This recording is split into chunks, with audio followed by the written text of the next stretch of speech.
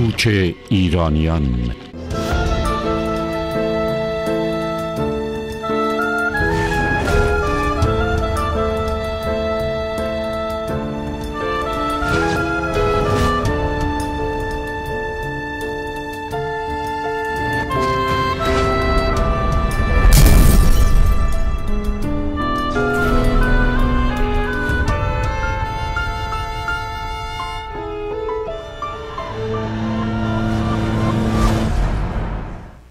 درود فراوان. امیدوارم اطلاعاتی که از برنامه قبلی یعنی گفتگو با آقای عرفان قانی فرد کسب کردید راضی باشید.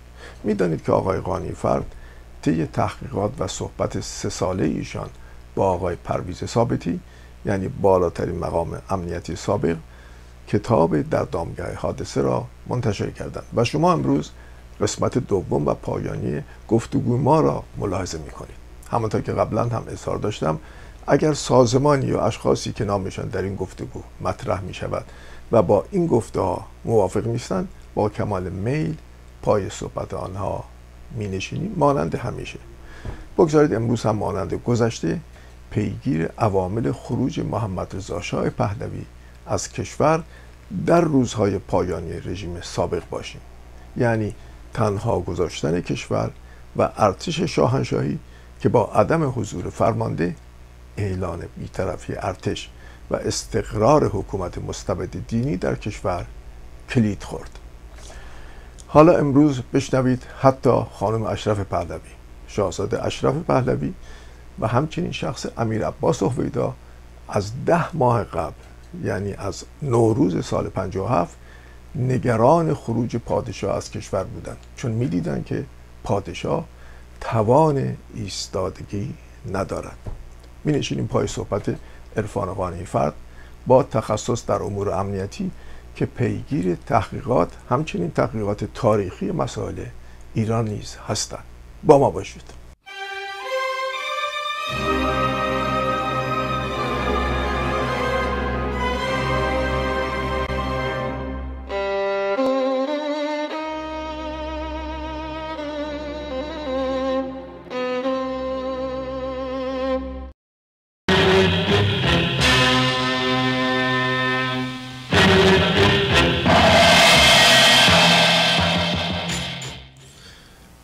صحبت خودمون رو یک بار دیگه با آقای قانی فرد ادامه میدیم.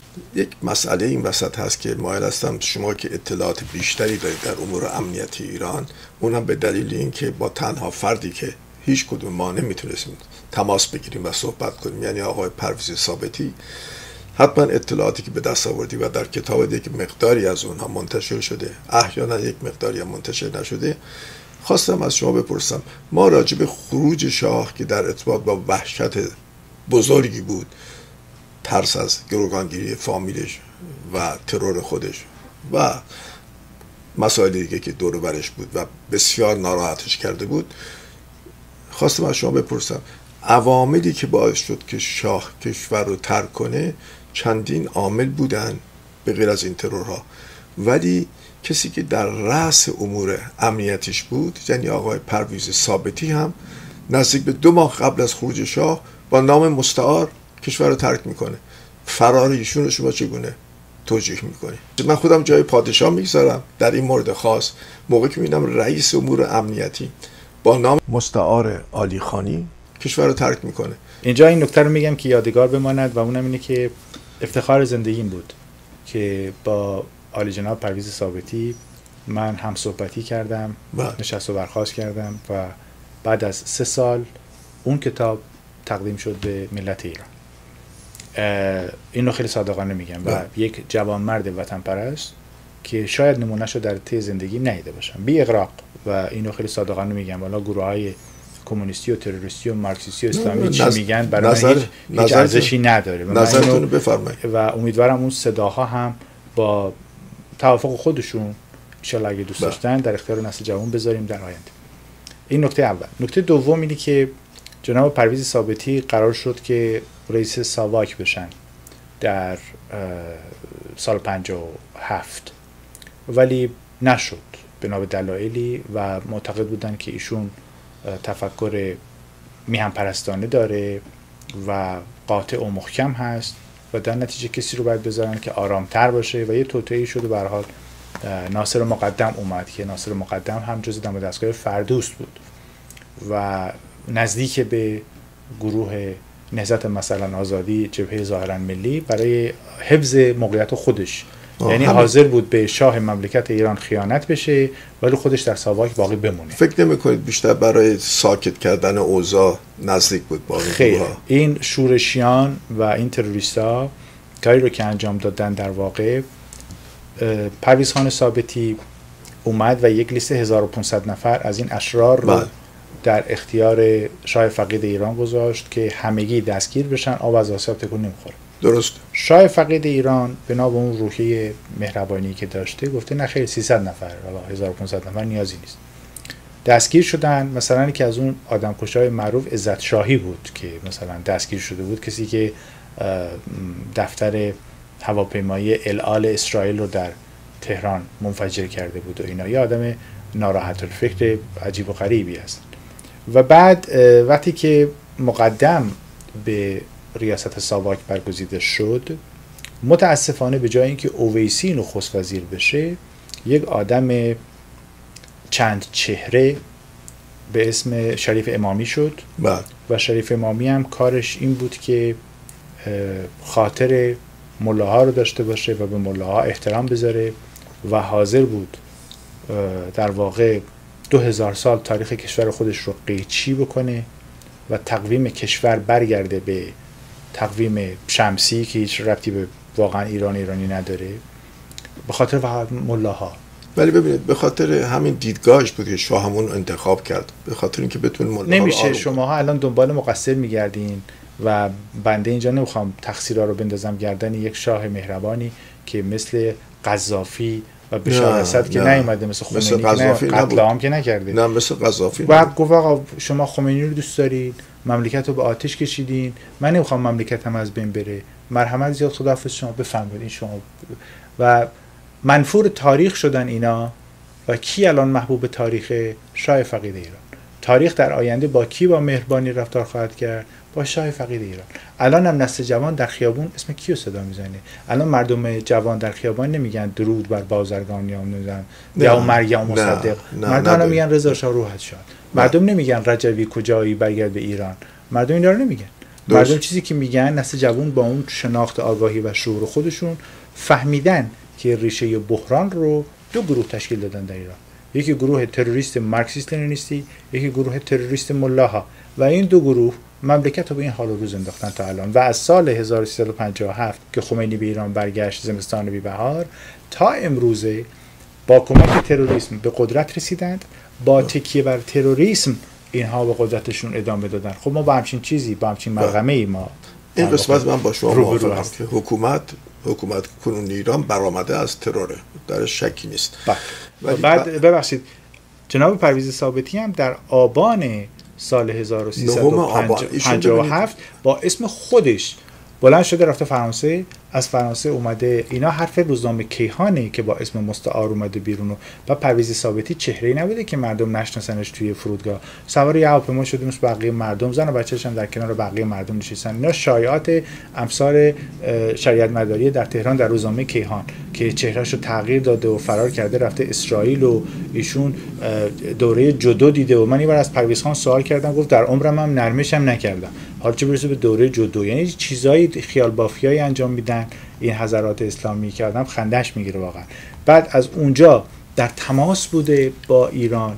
بعد قبل از اینکه ایران خارج بشه رفته خونه مرحوم هویدا. خب طبعا زنده یاد هویدا به شاه فقید گفته که به اصطلاح پرویز ثابتی داره از کشور خارج میشه. از فرانسه تلفن می‌زنه به ناصر مقدم. و ناصر مقدم میگه آقا میشه یه خواهشی از شما بکنم؟ میگه چیه میگه شما امریکانی میشه نرین؟ فریسان میگه بله. و پاریس متوجه میشه که امن نیست اروپا هم. تا بلند میشه میاد امریکا. این تمام این شایعات که خب. الان شما به اشاره کردین خب من جای من جای خوندم که در مدارک و اسناد سواک آمده. اسنادی که بعد از انقلاب کش شده که ایشون با نام علی خانی کشور رو ترک کردم یک سند یک سند. علیه فساد جعل و چیزهای منفی از پرویز ثابتی اگر وجود می داشت تا این لحظه این شیادان تاریخ هزار بار منتشر کرده بودن هیچ چی نبود. بله. و در واقع چیزی نوشته شده بس. بله چیزی که هست مثلا بعضی از این زندانی های سیاسی دروغایی گفتن دروغایی بافتن. آدم اسفناج بر کلش سبز میشه. مثلا اینکه از همین آقایون که مجله در ایران در میاره به اسم مجله چشمانداز که دو تا چشمشو از دست داده و عضو مجاهدین خلق بوده قبلا در حین بمب ساختن چشمشو از دست داده در واقع ایشون کتاب خاطرات داده بیرون. تو کتاب خاطراتش میگه شنیدم پرویز ثابتی اومد کنار دستم داد و بیداد کرد. بعد من از جناب پرویز ثابتی پرسیدم افشین شخصی رو اصلا می‌شناسی؟ چون پرویز خان معروف بوده همه سعی کردن اسمش جوری بیارن. من حرف شما رو قبول دارم. شایعات بوده. به هر حال همانطور که اشاره کردید اگر سندی بود رو می‌کردن. نوشته شده بود در کتابی که من خوندم که از کتابایی است که این روزها منتشر میشه که در اسناد سازمان امنیت ایران یه همچین نوشته ای هست که ایشون با نام علی خانی کشور رو ترک کردن. که خبر و روزی هم که. و روزی رو هم که انتخاب کرده برای خروج نهم آبان. یعنی ماه آبان که می‌دونید ماه سلطنتی سال منم اتفاقی ماه سلطنتی به دنیا آمدم ولی نهم آبان روز تولد شاهزاده رضا پهلویه. یعنی روزی رو انتخاب کرده ایشون برای خروج از کشور که کشور و دربار مشغول بوده برای خودش. نه اینطوری هم نبوده جناب لیمونادی تعطیلات هالووین بوده؟ بلیتا ارزون بوده ایشون در اون روز رفته بیرون. نمیفهمم واقعا. پس برای هالووین ایشون اومد بیرون. با خانواده با. خانوادهش با زن بچه رسما از فرودگاه رفته اونجا از اونجا زنگ میزنده به رئیسش بله. که ناصر مقدمه چیکار باید بکنه؟ پرویز پرویز ثابتی چه بدی در حق مردم ایران کرده؟ حالا من حرفم چیز دیگه بود. نه. پرویز ثابتی یک هنر داشته و اونم کشف ویروس چپ در ایران ت- چپ تروریستی و کشف ویروس چپ اسلامی. این خودش دخترش هم که الان استاد در دانشگاه هاروارد و MIT ویروس ابولا رو کشف کرده. پس دو تا دو تا موجود که در واقع کمک کردن به بشریت. پرویز ثابتی چه بدی به ایران کرده؟ حالا آقای عرفان خان خواستم بگم که فرمایش شما سریع چون سندی که این وسط نیست. من از زاویه پادشاه ایران دارم نگاه می‌کنم. موقعی که می‌بینه رئیس امور امنیتش کشور رو ترک می‌کنه خب رو روحیش تاثیر می‌گذاره. عجب. جناب لیمونادی ناصر مقدم شده رئیس. فردوست هم تو دفترشه. این چه می‌دونسته کسی که اینقدر بهش خدمت کرده نارفی غذاب در میاد؟ شما هم اطلاع داری کسی 40 سال 50 سال تو دم دستگاه شما باشه یهو یه روزی بمبی بذاره تو دوربین فیلم برداری شما کجا اطلاع داری؟ خب شاه فقید ایران هم متوجه نشده که این آدم حتی عواملش هم به این خیانت می‌کنن خب این این مثلا پرویز ثابتی چه ربطی داره؟ و بعدش هم پرویز ثابتی با اجازه رسمی از دربار چون از کشور خارج شده همه اطلاع داشتن. بعدش هم رفته امریکا. امریکا پس- هم با شاه فقید رابطه داشته می‌تونسته استردادش بکنن. پس, پس اطلاعاتی که من کسب کردم درست نبود. کلهم جعلیات اسلامی ها و تودهی خب این جلیات که زیاد بوده در بله. اون دوران. از قبل از انقلاب بود دیگه. خیلی توسعه داشت. حالا برگردیم به دو سه ماه آخر. شما راجع به آتش زدن سینما ها گفتید که تعدادش خیلی زیاد بود. ولی دو سه ماه آخر که من هم شخصا در تهران شاهد بودم اتفاقات زیادی میافتاد مثل بانک زدن و ترور اون روزها چه اتفاقاتی افتاد که روی شاه بیش از گذشته تاثیر گذاشت که واقعا نمی‌خواست لحظه بیشتر در ایران بمونه شما شاه فقید ایران یهو یه گروه جوان متعصب خام شستشو داده مغزی شده به اسم گروه توحیدی صف بم دستشون گرفتن من. اصلا نشنیدم نام بله گروه. الان شدن انقلاب اسلامی مجاهدین مجاهدین انقلاب اسلامی در داخل تهران. که یکی از اون تروریست های خیلی ناراحت نبوی هست بهزاد نبوی. خب این گروه توحیدی صف بمب بردن رستوران خانسالار در تهران. بله. زن و بچه مردم رو فرستادن هوا. من شنیدم که خیلی. بله. من و جنابالی الان توی این شهر هم چیکاری بکنیم؟ پلیس امریکا چه رفتاری با ما خواهد داشت؟ اصلا می‌ذاره ما زنده ببینید سوء تفاهم نشه. اگر کسی اسلحه به دست بگیره که من کاملا موافق مبارزه حکومت با اون افراد بودم اصلا شکی در این حتی میگن آزادی 17 شهر- نبوده. آزادی در چی نبوده؟ در بمبگذاری در حتی تروریسم؟ خواستم گفته باشم آقای قانیفت در روز 17 شهریور کسانی که در خیابان در میدان جاله سنگر گرفتن اسلحه به دست داشتن. من در شکی ندارم که رژیمی بایستی که توجه کردیم در مقابلشون محکم ایستاد و اگر حرکتی کرد و تیراندازی کرد نمیشه گفت که نابجا بود. رو به مردم معمولی تیراندازی نشد بلکه یه عده اسلحه به دست گرفتن برای سرنگونی رژیم. یعنی برای من و شما تصمیم گرفتن که اون مملکت نابود بشه یه عده زیادی آواره بشن حکومت از بین بره و یه عده دیگه بیان جانشین بشن که امروز ما می‌بینیم پس از 43 سال چه قشری جانشین شده. به هر حال برای من و شما اون کسانی که اسلحه به دست گرفتن من موافق این بودم که مبارزه بشه. خب قربانت گردم الان این کهنه تروریست ها خب می‌خوام بشن دوباره ناجی مردم ایران. یعنی مثل این میمونه که سوار یه اتوبوسی بشن بعد چپ کنه اتوبوس مردم شل و پل بشن بیفتن تو خیابون. همه بیم زخمی یه پا قطع شده دست قطع شده بعد بگیم ان گربه است. دوباره شما سوار همین اتوبوس بشین. مردم ایران رو هدایت بفرمایید. کدوم گروه بفرمایید؟ مثلا گروه تروریستی فلق کسی مثل تاجزاده الان برای ما شده رهبر خردمند. ادعا می‌کنه که ما بیایم. یعنی اصلاح طلبها به نظر اصلاح طلبها مثل تروریست ویروس- تاجزاده. خودش در روزنامه گفته من عضو گروه چر- چریکی فلک بودم. گروه چریکی چیکار می‌کنه در خیابون؟ بستنی میده به مردم یا بم میده و کشت و کشتار. یا مثلا شما دقت بفرمایید گروه منصورون که گروه منصورون دو تا تروریست توش بوده. به اسم یکیش همین محسن رضایی جنایتکار جنگی معروف و یکی هم همین شم علی شمخانی رئیس شورای عالی امنیت ملی. خودشون خودش در خاطرات خودشون میگن که کار ما پاسبان کشی بوده. پاسبان بکشیم.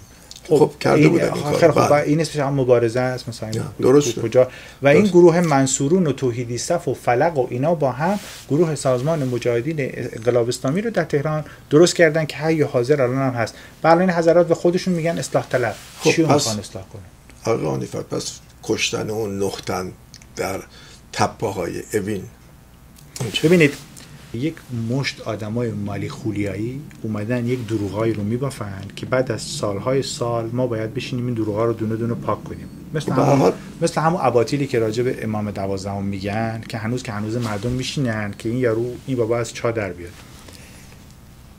از سال 1354 تا سال 1357 تا 58 تو این چهار سال لطف فرموده هر کی هر کی تحقیق می‌کنه پژوهش می‌کنه یک سند از یک بیانیه به من نشون بدین که در واقع این مسئله تپه ها در اونجا مطرح شده باشه جز دروغ 57 ها خب ما خب اجازه بفرمایید. بله. روزنامه کیهان روزنامه آیندگان روزنامه اطلاعات بنده توییت کردم عکس اون روزنامه ها رو گذاشتم اسم نه نفر رو گذاشتم که این نه نفر در روز جمعه که همه جا تعطیل هست کارمندا سر کار نمیان توسط دادسرای ارتش از زندان اوین خواستن ببرنشون به زندان قصر. اینا توطعه کردن برای فرار و بعد که توطعه می‌کنن برای فرار شما مأمور انتقال زندانی حکم تیر نداری؟ وقتی زندانی خطرناک تروریست رو می‌خوای از یه زندانی به یه زندانی چگونه در تپه های اوین اتفاق افتاد ربطی به تپه نداره. اصلا تپه وجود نداشته. در اتوبان شاهنشاهی اینا خواستن برن به سمت اون زندان در اونجا خواستن فرار بکنن تصادف ساختگی. پلیس هم زده کشته. خب بعد این موجودات خب، کی بودن؟ این موجودات انشتین که نبودن که اینا تروریست بودن. اینا که داشتن منتقل می‌کردن بله. بس چه فراری؟ خب من از آقایون بپرس. سال آقای این آقای بهمن تهرانی که دستگیر شده بود توسط بله. حضرات بله. یه لیست بهش وعده داده بودن که اعدام نمیشی ولی اینا رو بخون. اینم بی غلط اون متن رو می‌خونه و بی, بی غلط این من, متن رو من می‌نویسه. مصاحبهش رو دیدم. بله می نویسه چاپ شده به اسم سند. درست شد؟ همین این تمام سند آقایونه. یعنی یک مشت تروریست که با سیاهکل هنوز افتخار می‌کنه شما توقع نداشته باش که اینا بیان صادقانه بگن. یک مشت تروریست که اومدن فرسیو رو جلوی زن و بچهش به قتل به تیربار کشتن شما توقع داری اینا بیان به آزادی حرف بزنن. همین گروه های تروریستی فدایی خلق شما در نظر بگیرید که اینا این مسئله گاپیلون که من به- بهشون اشاره کردم سر رادیو که برنامه رادیو بالا و پایین بشه کدوم گروه رادیو رو در اختیار بگیرن؟ رادیویی که حزب بس در اختیارشون قرار گرفته اسلحه کشیدن برای همدیگه. یکی از اونها زنده مونده مصطفی مدنی که الان تو آلمان زنده است. اینا دنبال آزادی بودن. یا وقتی هم که این حضرات بلند شدن فرار کردن از دست خمینی همه به سمت شوروی فرار کردن. شدن اکثریت اقلیت یعنی چیزی درست. کاملا مشابه به کمونیست شوروی. و اینا الان شدن جمهوری خواه. و الان خب دارن علیه هستن. شاهزاده مملکت بیانیه صادر می‌کنن. چه جمهوری که تروریستی که دستش به تروریسم آلوده است برای ما چه جمهوری می‌خواد بسازه؟ حالا من بعد این دوستان رو دعوت کنم بیام پاسخ شما رو یه روزی بدن. ولی من با آقای فتاپور که صحبت کردم ایشون موقع که از زندان آزاد شد در سال 1356 گفت که تقریبا گروه ما یعنی فدایان خلق تقریبا تارمات شده بود. و هیچ نیروی دیگه موفقیت بزرگ ساواک این بوده که در واقع این گروه های تروریستی اصلا نیروی نداشته فلج کرده. بله هیچ خب نیروی نداشته به این آدمای وطن پرست درود فرستاد. خب حالا حالا شما درود بفرستید. من خواستم بگم تازه یه عدهشون هم فرار کردن رفتن به پاکستان رفتن به رفتن به در هینکار رفتن به افغانستان. نمونه سادهش همین فرخ نگهدار که الان زنده حی حاضر بازجوش هم زنده است. بر حسب تصادف روزگار. آقای دکتر جوان زنده است. فرار کرده افغانستان اسلحه وارد بکنن برای کشور. ساواکشون انداخته تو گونی آورده ایران؟ نگهدار در فرخ چه تاریخی؟ نگهدار. در یاد تاریخش یادم نیست تو سندش هست من دیدمش. گفتگو هم کردم با بازجوش. درست شد؟ بعد اون وقت این خواهم اونجا می‌زدن میکشتن کی اسم فراخ نگهدار یاد می‌گرفت؟ الان بله. برای ما شده از انتخابات داره حمایت می‌کنه انتخابات خب داخل حال می‌تونه تحولی هم درشون به وجود اومده. تحول در تروریسم؟ آقا شما یه چیزی بگی مثل این مونه بن لادن بگن کودکستان درست کرده مرکز خیریه درست کرده. شما جرأت داری بچه رو بفرستی اونجا؟ خب خب مرکز خیریش هم می‌تونه اعمال تروریستی بعدا انجام بده. ناراحتون نباشیم ما. الان جمهوری اسلامی مگه مرکز خیریه نداره در امریکای لاتین؟ بله، خب. کارش کار شغل شریفشون چیه. خب این داستان نیست که قاچاق انسان مواد مخدره این کار خیریه خب. آقای قانیفت پس تمام این جزئیاتی که توضیح دادید شاه ایران بهش کاملا آگاهی داشت. درسته؟ شاه ایران به تمام این مسائل آگاهی داشت. اسم خیلی از این زندانیان خطرناک رو بلد بود. می‌دونم. یعنی مثلا از نصیری می‌پرسید فلانی یا فلانی فلانی وضعیتشون چطوریه؟ درست شد؟ این دیگه یا- تو خاطرات بسیار از این افراد سابق در هست کدوم قسمت زندان هست؟ حتی شنیدم من یکی دیگه از موفقیت های ساواک مبارزه با اجنبی بوده که من یا دشمن خارجی. بلایی سر کاگبه روسیه آوردن اون سرش ناپیدا باشه. و خیلی از جاسوس شما یک دونه مقربی رو بلدین بقیهش رو نشنید نشنیدین اصلا. مثلا یکی از اون آقا جناب آقای موسوی که در واشنگتن هست در اداره ضد جاسوسی خب بنده با رئیس ایشون جناب تیمسار هاشمی در لندن گفتگو کردم یا مثلا با آقای جنرال فرازیان که فوت شد علوی کیا که فوت شد. حالا من با خیلی از این افراد که گفتگو کردم این گروه ها مثلا جناب اه، سرتیپ هاشمی به من می‌گفت که در داخل سفارت روسیه در تهران اعلامیه های مجاهدین خلق توضیح می‌شد یعنی چاپخونه زیرزمینی سفارت روسیه چاپ اعلامیه چاپ کرده در. برای حضرات تروریست مسعود رجوی درست در خب،. آره بعد این حضرات لطفا بوده دم از آزادی نزنن حالا یعنی دیگه. نه اسلامی ها و نه مارکسیست ها دم از آزادی نزنن چون در عمد خیانت به مارکس هست نه در مارکسیسم نه در اسلام چیزی به اسم آزادی وجود خارجی نداره. ولی ولی دادستان ارتش رو که ترور کردن ژنرال فرسو بله؟ جلو زن و بچه‌ش. بله. چگونه بود؟ از اون شما چه اطلاعاتی دارید؟ تو خیلی است. اهمیت داره که یکی از رؤسای ارتش در امور دادستانی در کشور ترور بشه. خب. در کتاب وحشت بزرگ من بهش اشاره کردم به احترامش که به چه صورتی سیاه کل انجام شد و هنوز که هنوز این گروه ها که یه قبیله بیشتر نیستن در آلمان و اتریش و غیره و میشینن هر سال سیاه کل رو جشن می‌گیرن و مرس- مرسی سرایی می‌کنن و اینا. و خب بماند ایده- ایدئالشون بوده. آخه ایدئال آقای در کجام جامعه بشری؟ مثل این میمونه یک روزنامه‌نگار آلمانی یه روشنفکر آلمانی. الان بیاد یک کتاب بنویسه در متن هیتلر. همون شب دادگستری خودش رو کتابش رو می‌بره زندان. همین آلمان فعلی.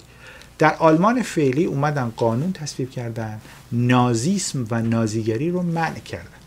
در آینده ایران هم به نظر من اگه بنده قدرتی اگر در ایران حالا من بنده که نویسندم. ثابتی که نمی‌خواد باشه. نه نه. من اون لیاقت می‌خواد اون شغل من یه معلم سادم. ولی واقعا اگه در آینده مثلا فرض بفرمایید قدرتی که داشتم بعد دو تا کار می‌کردم. پنجاه و هفتی ممنوع به طور کلی ملا به طور کلی ممنوع. اینو جدی میگم برای نسل جوان.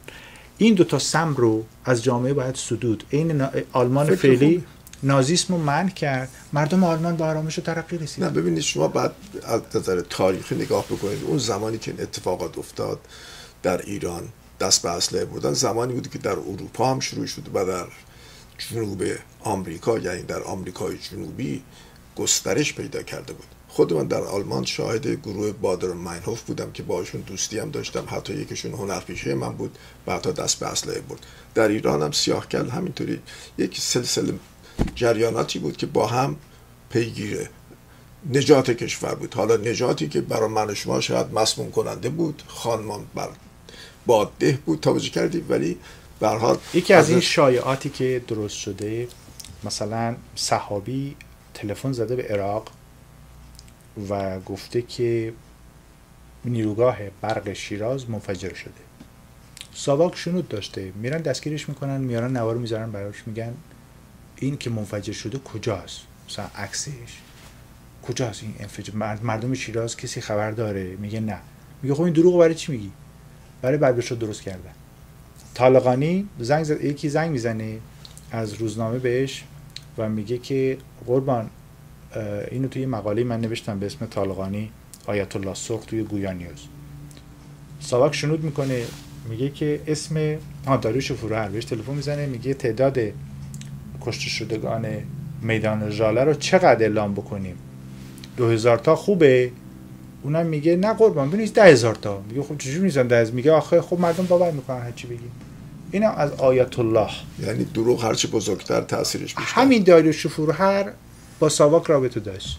همین داریوش فروهر بعد از کاری می‌کردن دیگه. آقا کشورشون بود با سازمان امنیتی کشور یک مشت بیوطن یک مشت بیوطن افتادن به جان وطن. اینا اسمش خواهشن با کلمات بازی نکنیم. وطن ارج داره حرمت داره. در واقع کسی که اسلحه برداره برای نابودی کشورش بله. نمیشه بهش گفت من با شما موافقم. نمیشه بهش گفت کسی که اسلحه برداره موافقم. یک مشت 57 بی وطن اومدن مردم ایران رو به این حال روز انداختن. در سیاه روزی بدبختی. در واقع شعارم که نباید داد. واقعیت باید مردم با مردم صادق بود. این مردم باید بدونن چه بلایی سرشون اومده. از تاتار و مغول بدتر سرشون اومده. جامعه ایران باید متوجه این مسئله یواش یواش بشه که این چه بلایی بود. که در این خب حالا سرزمین از هر دیدگاهی نگاه بکنیم حکومت برآمده از سال 57 یه حکومت تروره در شکی نیست. یه واقعیتی. بله. سال ممکنه دید من با شما قدی فرق بکنه. همونطور که شما مثلا اجنبی مینامید من دشمن مینامم. حالا به قول شما واژه من, من واژه آقای خامنه‌ای رو بیشتر استفاده می‌کنم. شاید به خاطر که اسم منم علیه. ولی به هر حال چیزی که اینجا هست برمیگردم سر اصلی ترین سوالم. همه این عوامل شما فرسی رو کامل شهر ندیدید که چگونه ترور شد فرسی ببینید ماجرای سیاهکل که رخ میده تروریست های چریک فدایی خلق می‌خوان تلافی بکنن. تلافیشون هم چیه؟ آدرس خونه فرسی رو پیدا می‌کنن. اینا گروه شنود و مراقبت گذاشتن داخل مملکت. راه افتادن با یک سری دستگاه هایی که به دست آوردن و برخی آشنا روسا در اختیارشون قرار گذاشتن. مثلا یک بار دنبال آقای ثابتی را افتاده بودن در تهران یا غیره یا مثلا بعضیاشون خب پس جنگ بود. بله. جنگ بود. و یکی از این تروریستا مثلا که دستگیر میشه افراخته و بعد خودش با ساواک همکاری می‌کنه برای دستگیری اون های دیگه. این خیلی بامزه است. نقطه خوشمزه است. چی بوده؟ افراخته و بعد خودش اعدام میشه. یعنی ما با یک مش تروریست خطرناک ایرانی روبرو شدیم در داخل تاریخ که شاید اصلا مردم کم کم براشون جذاب باشه این قضیه. تروریسم ایرانی خطرناکترین نوع تروریسم جهانی که شاید فقط بهش می‌گفت مارکسیسم اسلامی. این اسلام مارکسیستی حضرات در مغز اینها بود یعنی تلفیقی از اسلام و مارکسیسم که الان شده خمینیسم. چون خمینیسم همین تفکری که جمهوری اسلامی داره ملغمه است از این انبان فساد و انبان رزالت ها این افراد با این گونه تفکرها یعنی پیرو استالین بودن عشق نمی‌دونم زمانی وقاحت هنوزم همینه. هنوزم هم دنبال تروریسم هم دنبال خشونت. کل ساختار نظام ولایت فقیه همینه. کل ساختار نظام ولایت فقیه بر اساس ایدولوژی خمینیسم میچرخه. تمام اون تروریستایی هم چه از نوع مارکسیستی چه از نوع اسلامی که در پشت خمینی حرکت کردن برای ویرانی کشور در سال 57 هم داره همین افکار التقاطی هستند. از اون آدمایی که مثلا روشنفکرانشون کیا بودن؟ یکیش شریعتی باورمند به تروریسم اسلامی که خودش رابطه بین حزب تروریستی عمل بود در ماجرای لبنان. از این تروریست ها مثلا مهدی بازرگان که اسمش روشن فکر که نیست که یا خب مثلا مهدی بازرگان که تروریست نبود. شما گفتید رفته بود کسی به, که فلسطین؟ با... کسی بازرگان به مهدی فلسطین. بازرگان به فلسطین نرفته. ولی کسی که نهضت آزادی از شکم حزب ایشون متولد شده و پدر فکری این افکار تروریستی بوده حامی تروریسم بوده رفته پیش نواب صفوی که فضل الله زاهدی رو ترور بکنن و کسی که برگشته در روزنامه نیویورک تایمز این آقای مترجم قرآن به دروغ در نیویورک تایمز چاپ شده در مارس 1979 برمیگرده میگه حکومت خمینی مشابه حکومت ده سال عدل علی است. درست این آقا تروریست نیست؟ این آقا بدتر از تروریسته. خب اینم خب این خیلی صادقانه است. بله. یعنی این نوع قداست جعلی برای خمینی درست کردن این یعنی ترور فکر و عقلانیت خب مردم ایران؟ که شما دارید اشاره می‌کنید یعنی یه قشر گسترده ای در کشور ایران به عنوان گروه های تروریستی از قبل از پایان رژیم پهلوی فعال بودن و اکنون هم حاکمن بر اوضاع. پس حکومت یک حکومت تروریستی است و قشرشون هم گسترده است. کم نیست. کاملا با فرمایش جناب عالی من با از نتیجه گیری جناب عالی موافقم. یک سری تروریست به قدرت رسیدن. هیچ برنامه‌ای تفکری برای جامعه ایران نداشتند و جز سرکوب. اینجا من با شما موافقم. این افراد هیچ دیپلماسی خارجی نداشتند جز تروریسم. تمام دیپلماسی کشور بر چی میچرخه؟ بر سه عنصر دشمنی با اسرائیل دشمنی با امریکا ترویج تروریسم. کار دیگه داشتن. به توسعه و امران مملکت کمک کردن. در دنیا خیلی خوشنامند. در واقع الان این داستان قضیه است که یک مشت تروریست بیمغز اومدن به قدرت رسیدن. الان در قدرت در ظرف این 43 سال کشور رو تاراج نابود و ویران کردن و اموال مملکت بر باد فنا رفته و در واقع چیزی از ایران باقی نمونده الان. چی, چی از ایران باقی مونده؟ نه محیط زیست باقی مونده نه اقتصاد باقی مونده نه فرهنگ باقی مونده نه روابط اداری باقی مونده نه صنعت باقی مونده نه رشد باقی نه نسل جوان باقی مونده. چی مونده از ایران جز خب با؟ این فاجعه که شما اشاره می‌کنید بذارید در آخر صحبتی که با هم داشتیم ازتون بپرسم. برای آینده فکر می‌کنید چگونه میبایستی این موزل حل بشه؟ یک راه بیشتر نیست و اونم اینه که عین کشورهای متمدن دنیا ما هم که مردمان عقب مانده ذهنی که نیستیم عین کشورهای پیشرفته دنیا یه الگو برای خودمون قرار بدیم. الگویی که مد نظر شخصی من هست شخصی حالا مال خودمه. مردم می‌تونن جور دیگه فکر کنن. من الگوی نروژ برام جذابه. در واقع دموکراسی پارلمانی. پارلمان تصمیم بگیره که چیکار باید کرد. خب چگونه بعد به. اونجا رسید؟ آیه عرفان چگونه بعد رسید؟ وقتی خونه شما سوسک به خونتون حمله می‌کنه چیکار می‌کنید؟ همه رو تارمار می‌کنید وگرنه زندگیتون فلج میشه. اگر هر کدوم از مردم ایران از شر یک ملا خلاص بشه خلاص میشه. و ایران بدون ملا رو نگاه بفرمایید. بنده تبلیغ تروریسم که نکردم. خودم ضد تروریسم. ولی من اینجا تبلیغ می‌کنم شما از شر ملا باید رها بشید. یعنی این تفکر خرافات و موهومات اختاپوس مذهبی ایران رو مردم ول کنن. این میریزه پایین. خب. وقتی این بریزه پایین کلیه ابزارهای سرکوب اختاپوس مذهبی شیعه در ایران میریزه پایین. ولی مردم تعارف دارن. ولی یه قدری بعد واقع بینانه صحبت کنیم. شما راجع به این گروهی که اشاره می‌کنید چه چیزی تعلق داره به این گروه؟ یک شبکه بسیار گسترده از مساجد که با هم در خیلی مسائل مشترکن و یه نیروی هستن در سطح کشور. همانطور که قبل از انقلاب نیرو بودن. من شاهد این بودم که مساجد چقدر فعال بودن در روزهای انقلاب. حالا این نیرویی که طی این 43 سال گسترده تر شده با پولی که به دست آوردن می‌خواید شما یک شبه اینها رو از بین ببرید؟ بنده هم حرفی نزدم. بنده گفتم آن فرهنگ باید ساخته بشه در داخل جامعه ایران مدرن که نسل جوان با 11800 امامزاده روبروه. امامزاده های جعلی. کلهم امام ش... امامان شیعه 11 نفر بودن. چجوری 11 هزار امامزاده درست میشه؟ مکدونالد هم اینجوری درست نمیشه. پس الان جامعه متوجه شده که این جعلی هن. تو قبرم که تولید, ن... تولید مثل که. نمی‌کنن خب. خب ما با 11800 امامزاده یا مرکز ترویج خرافات و موهومات در ایران روبرو هستیم. این اختاپوس مذهبی شیعه در ایران عامل عقب ماندگی و بدبختی جامعه ایرانه.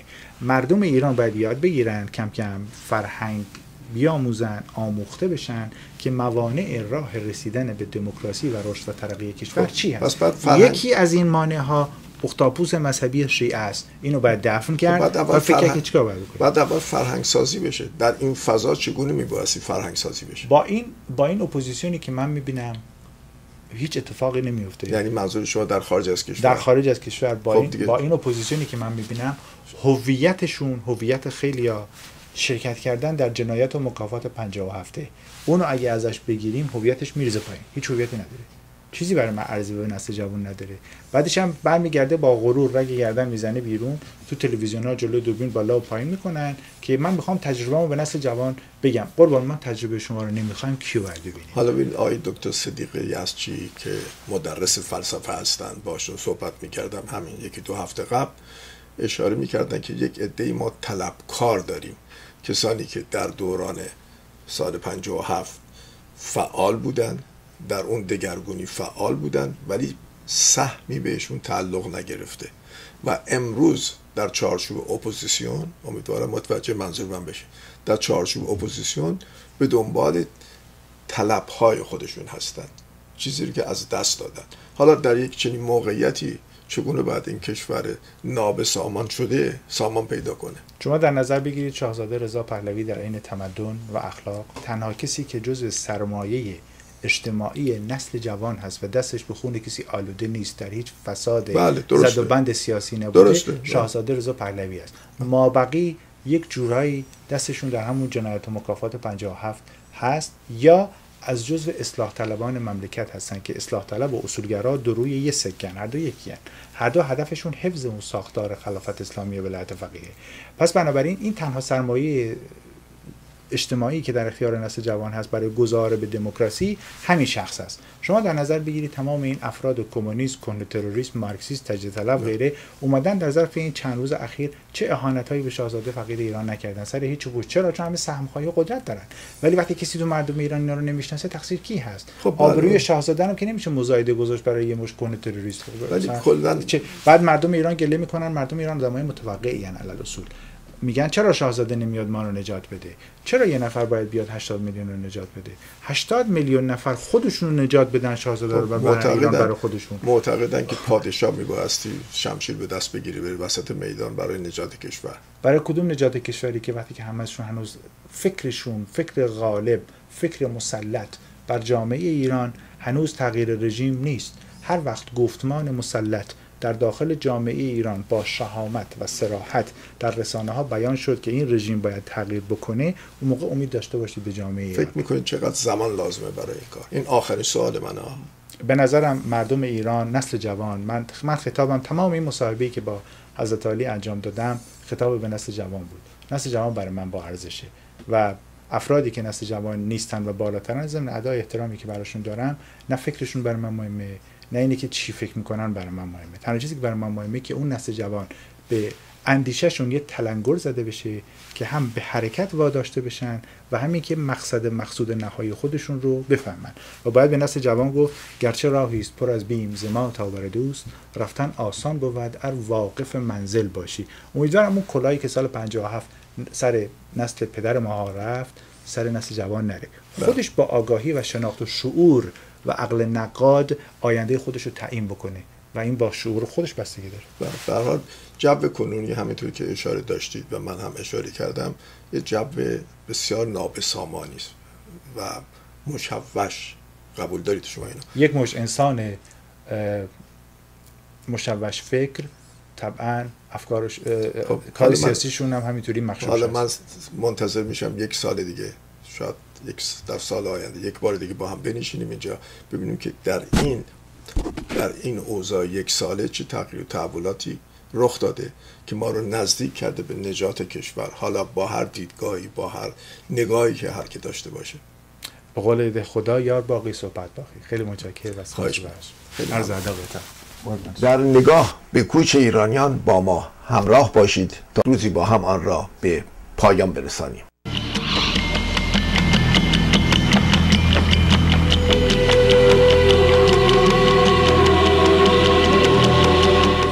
و ما در قربت همچنان دوره می کنیم شب را و روز را هنوز را.